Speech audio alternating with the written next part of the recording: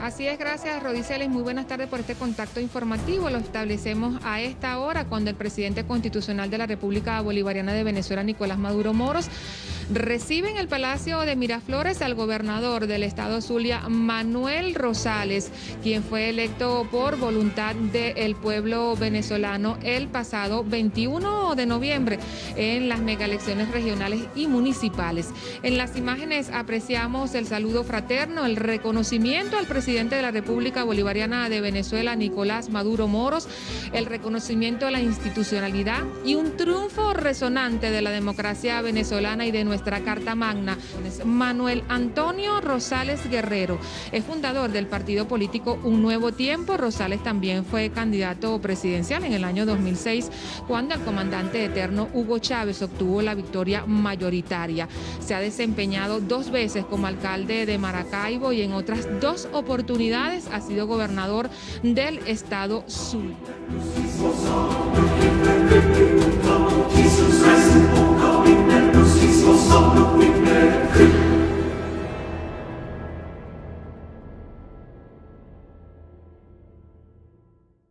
¿Qué te parecen 365 días de contenidos digitales para tu empresa, negocio o emprendimiento?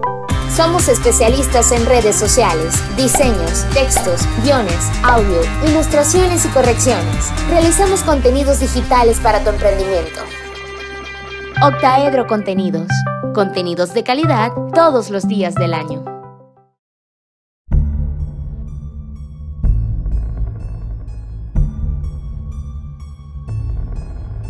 Manuel Rosales fue acusado por la Fiscalía General a finales de 2008, acusado de malversación de fondos públicos durante su mandato como gobernador del Zulia. Rosales se escondió y se fue a Perú, donde solicitó asilo político. Durante su exilio, Rosales siempre buscó regresar a controlar sus negocios en Venezuela, aunque su enemistad con el dictador era directa, lo que le impidió negociar con el régimen hasta que Chávez se murió. En octubre del 2015, Rosales anunció que regresaría a Venezuela. Abrazarlo, abrazarlos con los brazos, abrazarlos con los brazos. Abrazarlos con los brazos. Y no tardó la respuesta de parte de Luis Ortega. Rosales, que anunció que vendría por ahí, también Ah, se bueno, le garantizan este- sus derechos humanos. Claro, este es su país, Venezuela es su país. Pero él que- sí tiene privativa de libertad. Él tiene una orden de captura, no, no se ha privado porque si llega se le privará de libertad, pero te decía que él es un venezolano, este es su país y con- se le respetarán todos sus derechos y es verdad que, que viene y me parece muy bien que venga y que le haga frente a la justicia. De esa- ese es el comportamiento que deben tener todas las personas. Y bueno, se le, gan- si viene se le garantizarán todos sus derechos, pero bueno, será prendido inmediatamente que llegue al país. Así llegó a Maracaibo Manuel Rosales. Fue arrestado y sentenciado a 13 años y 9 meses de prisión.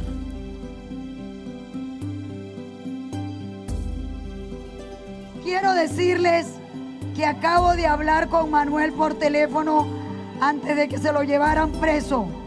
Y Manuel me dijo, Evelyn, vete para la 72. Le dices a mi familia, le dices a mi pueblo, pero le envías un mensaje al gobierno. Yo no vengo acordado, yo no vengo a negociar, yo vengo a construir la patria que todos nos merecemos. A 50 días de las elecciones legislativas, muchos venezolanos creen que el oficialismo pudiera estar detrás del retorno de Manuel Rosales, quien fuera considerado el enemigo número uno del fallecido presidente Hugo Chávez. Si lo dejan en libertad, eso va a ser una sorpresa.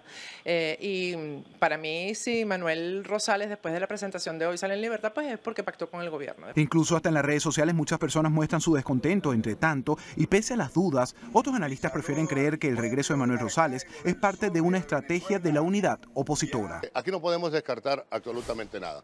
Vamos a esperar realmente qué puede ocurrir, qué puede pasar.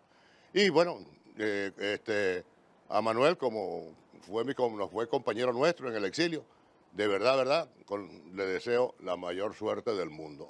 Sin embargo, el líder sindical Carlos Ortega, quien fue uno de los promotores de la huelga general de dos meses contra el presidente Hugo Chávez en 2002, que lo llevó a la cárcel militar, de la cual logró escaparse y huir al exilio, no descarta que Rosales haya sido contactado por funcionarios o por el propio presidente Nicolás Maduro. Con este tipo de, de régimen, este tipo de gobierno, tú no puedes descartar absolutamente nada. De ellos puedes esperar lo peor, la periodista Patricia Poleo descarta que el ex candidato presidencial y ex gobernador del estado Zulia, quien huyó de Venezuela en 2009 por considerarse un perseguido del chavismo, pueda convertirse, como lo llegó a ser, en una importante figura opositora. ¿Tú crees que vaya a ser el próximo líder de la oposición? No, jamás. Yo creo que ya su tiempo pasó. Yo creo que hay un liderazgo distinto que ha actuado distinto frente a la realidad del país y creo que además pone de, en la acera de enfrente la forma como Manuel Rosales eh, ha reaccionado frente, por ejemplo, al fraude, ha reaccionado eh, frente a lo que es un proceso de elecciones en Venezuela, así que no creo. En Caracas, el partido de Rosales, Un Nuevo Tiempo, se deslindó de cualquier vinculación con el oficialismo. Nuestro partido no tiene absolutamente nada que esconder en relación al caso de Rosales y en relación a ninguna conversación o negociación con el gobierno en torno a este caso. Mientras esperaba su juicio, Rosales fue recluido en el helicoide, donde ya como ficha del régimen de Maduro se hizo pasar por preso político. El objetivo de Manuel Rosales dentro del helicoide era comprar conciencias de presos políticos para aceptar la amnistía que el régimen de Maduro les ofreció. La libertad de Rosales tiene que ver con su inocencia. No tiene que ver con ningún proceso de negociación. Y las gestiones que estamos haciendo para el entendimiento no han logrado aterrizar en un proceso concreto. Esperamos que aterricen. Convertido ahora en un buen oficiante de Maduro, el antiguo enemigo de Chávez se había convertido en el mejor aliado del chavismo, en el dirigente opositor perfecto para la dictadura. Y si seguimos en esta guerra y en esta violencia permanente, ¿para dónde va Venezuela? ¿O es que el, el tema es destruir al país? No, yo creo que hay que establecer acuerdos mínimos de respeto, democráticos de funcionamiento. Rosales, de 64 años, detenido en 2015 por presunto enriquecimiento ilícito cuando fue gobernador de Zulia en 2008, tiene prohibido salir del país, pero le fueron restituidos sus derechos políticos. Manuel Rosales negoció con el régimen mantener sus oscuros negocios en el país a cambio de continuar la farsa politiquera para mantener a una banda criminal en el poder. Ha servido fielmente al chavismo desde su llegada al país en el 2015 haciéndose presente en todas las elecciones controladas por el régimen. Pese a haber sido derrotado en 2017, Rosales se presentó nuevamente como gobernador del Zulia para las elecciones del 2021, diciendo que regresaba. Vuelve, Manuel Rosales, el mejor gobernador. Todos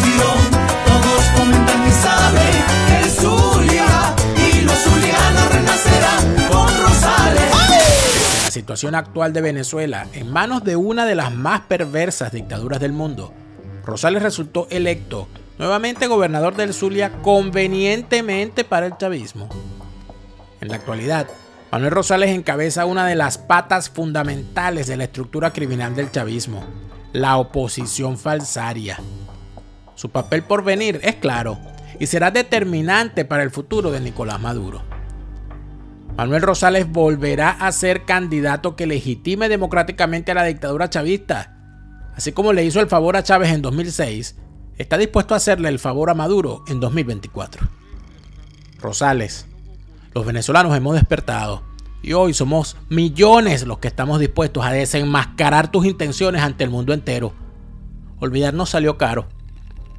Por eso nunca olvidaremos tu traición a la patria. Pero usted, denuncia bajo sospecha de que sea... No, no, yo no denuncio sospecha, yo estoy diciendo que Rosales es un ladrón y aquí están las pruebas.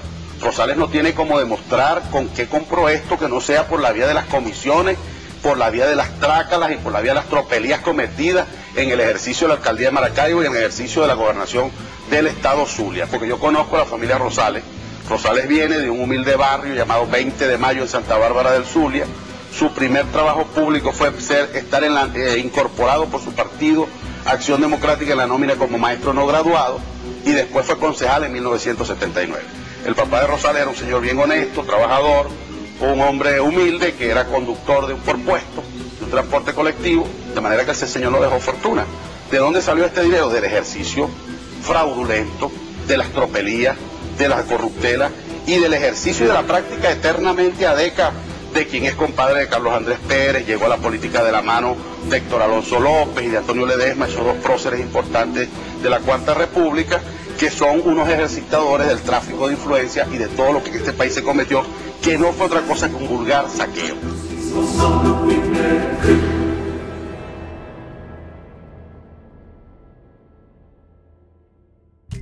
Venezuela distribuimos productos venezolanos de marcas reconocidas en Alemania y en toda Europa, llevándote al encuentro de nuestros sabores nostálgicos. Este año iniciamos ofreciendo snacks y bebidas para tus celebraciones. Nuestros pasapalos venezolanos. Visita nuestra tienda online a través de la página web hanvenezuela.com y síguenos en Instagram, arroba hanvenezuela.